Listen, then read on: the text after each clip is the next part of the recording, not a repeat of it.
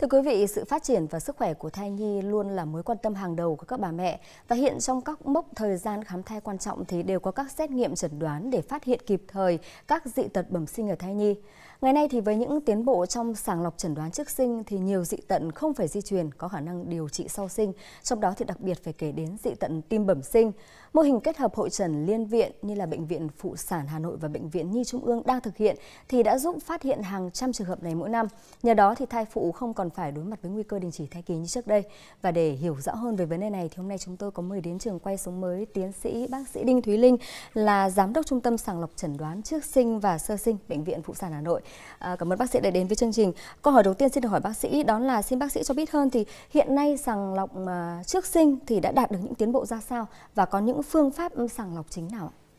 Dạ vâng, à, chào chị Thu Hiền và chào toàn thể các à, quý vị đang xem chương trình. À, hiện nay thì công tác sàng lọc trước sinh của chúng ta đã đạt được những tiến bộ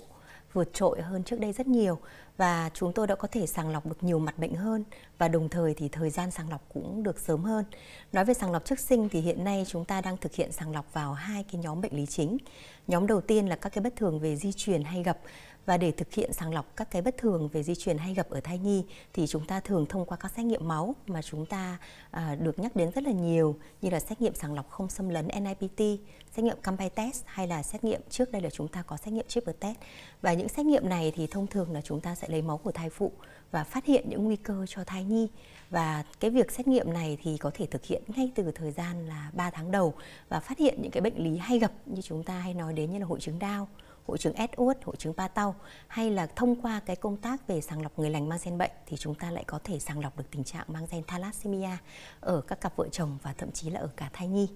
Còn một cái nhóm sàng lọc thứ hai mà chúng ta đã thực hiện từ rất lâu đó là sàng lọc các cái bất thường về hình thái của thai nhi hay gọi là những cái dị tật liên quan đến vấn đề về tim bẩm sinh hay những dị tật về hệ tiết niệu, hệ thần kinh trung ương hay là những cái vấn đề về dị tật hệ tiêu hóa thì thông thường những dị tật này thì chúng ta lại phải sàng lọc thông qua công tác siêu âm và các cái lịch siêu âm, các mốc siêu âm hình thái 4D cơ bản thì chúng ta có thể phát hiện được phần lớn những cái dị tật này ở thai nhi. Dạ vâng. À, thưa bác sĩ vậy thì việc sàng lọc dị tật bẩm sinh thì tốt nhất là nên được thực hiện vào những giai đoạn nào của thai kỳ ạ? Ừ, vâng. À, về cái thực hiện sàng lọc các cái bệnh lý về dị tật bẩm sinh thì chúng ta hiện nay thì chúng ta có thể thực hiện ở những giai đoạn rất sớm của thai kỳ, thậm chí là ngay trong quý 1 của thai kỳ. À, với các cái bệnh lý về bất thường di truyền thì các cái xét nghiệm máu hiện nay có thể thực hiện ở giai đoạn rất sớm, thậm chí một số xét nghiệm có thể thực hiện từ tuần thai thứ 9 và thứ 10. À, tuy nhiên thì với những cái bất thường về hình thái của thai nhi thì cái thời gian chúng ta thực hiện sàng lọc lại lâu hơn. Và hiện nay thì chúng ta có ba cái mốc siêu âm cơ bản để phát hiện các cái bất thường về hình thái chính của thai nhi. Cái mốc đầu tiên mà chúng ta hay nhắc đến ấy, chính là cái sàng lọc của quý 1 của thai kỳ là ở tuổi thai từ 11 tuần cho đến 13 tuần 6 ngày. Và trong giai đoạn này thì ngoài cái việc tầm soát về đo độ mờ da gáy của thai nhi thì chúng ta cũng phát hiện được rất nhiều các cái dị tật nặng nề, trong đó có những cái dị tật đặc biệt liên quan đến hệ thần kinh trung ương hay là các hệ các cái dị tật liên quan đến tim bẩm sinh mà nặng. Còn mốc thứ hai là một cái mốc rất là quan trọng và gần như là cái mốc phát hiện dị tật quan trọng nhất trong thai kỳ đó là khi tuổi thai được 18 đến 22 tuần. Và chúng ta sẽ phát hiện đa số các cái dị tật về hình thái bao gồm từ dị tật hệ thần kinh trung ương, tim bẩm sinh, tiêu hóa, tiết niệu cho đến những cái dị tật vùng hàm mặt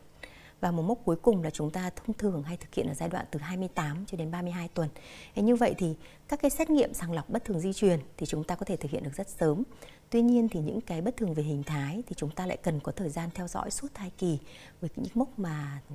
tôi đã có thể là nêu ở ở trên ạ. Dạ vâng. À. Thế với những cái mốc này thì ví dụ như ở cái mốc xét nghiệm trước là cái kết quả xét nghiệm hoàn toàn bình thường à. thì thai phụ có nên chủ động đi xét nghiệm ở các mốc tiếp theo hay không hay là khi nào mà mình có cái khuyến cáo từ bác sĩ thì mình mới đi ờ, chẩn đoán xét nghiệm? À thông thường thì các cái xét nghiệm sàng lọc về bất thường di truyền và hình thái thì nó là hai cái nhóm sàng lọc hoàn toàn khác nhau. Nó có những cái điểm chung. Tuy nhiên thì khi chúng ta sàng lọc các cái bất thường về di truyền là xét nghiệm máu hoàn toàn là nguy cơ thấp thì chúng ta vẫn tuân thủ nên tuân thủ theo lịch hẹn của bác sĩ, tiếp tục đến các cái mốc siêu âm cơ bản để kịp thời phát hiện ra các cái bất thường về hình thái. Vì các xét nghiệm sàng lọc hiện nay thì không thể phát hiện được tất cả các cái bất thường dạ. và các xét nghiệm máu thì chỉ có thể sàng lọc các bất thường về di truyền thôi. Dạ. Còn về hình thái của thai nhi, về những dị tật liên quan đến tim bẩm sinh hay dạ. là hệ tiết niệu, hệ thần kinh thì chúng ta vẫn cần phải thực hiện sàng lọc qua các mốc siêu âm cơ bản. Dạ vâng, vâng. À, cảm ơn bác sĩ và chúng ta sẽ trò chuyện sau ít phút nữa. Vâng ạ. Thưa quý vị, hội trần liên viện để đánh giá các trường hợp dị tật bẩm sinh phức tạp hiện được Bệnh viện Phụ sản Hà Nội và Bệnh viện Nhi Trung ương tổ chức hàng tuần. Sự phối hợp giữa hai bệnh viện trong quá trình trước sinh và ngay sau sinh thì đã giúp đưa ra giải pháp theo dõi, can thiệp kịp thời, phù hợp nhằm cứu sống và tăng cơ hội sống khỏe mạnh cho rất nhiều trẻ em. Mỗi buổi hội trần liên viện đánh giá trung bình 40 ca phức tạp, trong đó nhiều nhất vẫn là tim bẩm sinh Điều đáng nói, hầu hết dị tật tim bẩm sinh đều có thể điều trị với tỷ lệ thành công là 95%. Vì thế, trường hợp bị dị tật này không còn phải đình chỉ thai. Thay vào đó, họ sẽ được bác sĩ lên kế hoạch quản lý chăm sóc thai kỳ cùng kế hoạch hồi sức sơ sinh, tất cả đảm bảo chăm sóc kịp thời và tốt nhất cho trẻ lúc sinh ra. Ngoài hội trần liên viện, một hoạt động đặc biệt được các chuyên gia của hai bệnh viện thực hiện từ hơn một năm nay, đó là tư vấn trực tiếp cho các thai phụ về diễn biến bệnh, phác đồ điều trị. Các bác tư vấn sau khi mà sinh xong thì đợi khoảng 3 cân thì là mổ để xử lý tim cho bé thì trên 90% là sẽ trở về bình thường nên em rất yên tâm. Chúng tôi sẽ mời những các bác sĩ chuyên gia phù hợp với từng chuyên khoa để tư vấn cho bệnh nhân thì song song với việc đó các bác sĩ sản khoa tại trung tâm chẩn đoán trước sinh sẽ hỗ trợ và khám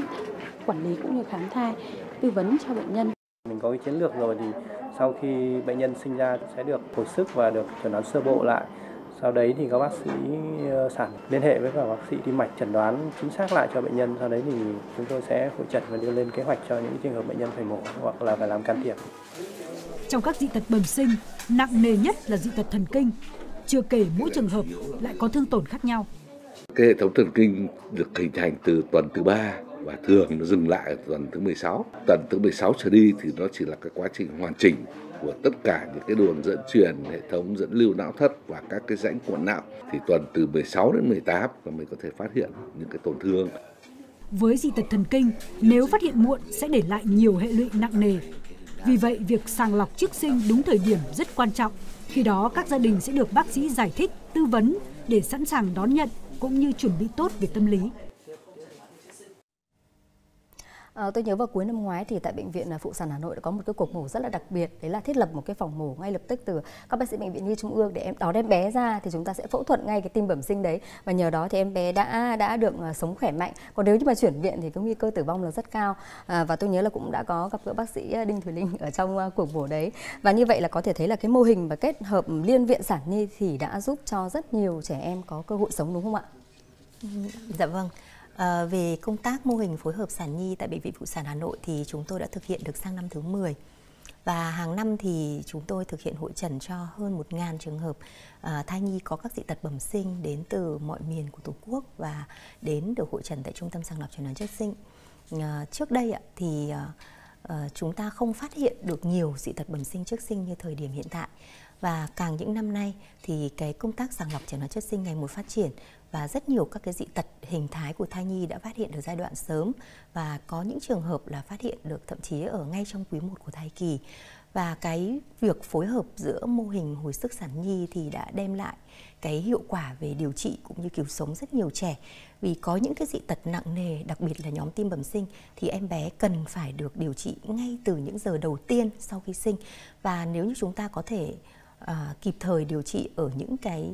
giờ vàng như vậy thì chúng ta sẽ tăng được tỷ lệ cứu sống và điều trị cho trẻ sau này. Vì với những cái dị tật tim bẩm sinh hay nhóm bệnh lý thoát vị hoành, nếu chúng ta không phát hiện được trước sinh và chúng ta bỏ lỡ mất những cái giờ đầu tiên sau khi mà trẻ ra đời thì khi mà chúng ta phát hiện ra bệnh thì có thể em bé đã ở giai đoạn bệnh rất là nặng và những cái công tác về phẫu thuật cũng như hồi sức sau đấy thì có thể sẽ không đem lại được hiệu quả như là chúng ta phát hiện trước sinh nữa. Nên chính vì thế nên với cái mô hình mà hồi sức vâng. sản nhi thì à, chúng tôi sẽ có những cái chiến lược dạ. theo dõi cho từng thai nhi một ngay từ khi trong bụng mẹ dạ. Và đồng thời cũng có một kế hoạch hồi sức sơ sinh hết sức là hiệu quả với những cái giờ đầu tiên và chúng tôi sẽ chuyển viện khi em bé đủ điều kiện hoặc là có những trường hợp là các bác sĩ viện nhi sẽ sang trực tiếp để chúng ta có thể phối hợp hồi sức dạ. cho trẻ ngay sau sinh và vâng. tăng được tỷ lệ cứu sống những trường hợp đấy ạ. Dạ vâng. À, thưa bác sĩ vậy thì đối với các dị tật nói chung thì trong kết quả xét nghiệm sàng lọc mà cho thấy thai nhi có nguy cơ dị tật cao thì à, thai phụ cần phải thực hiện thêm những kỹ thuật chẩn đoán nào ạ?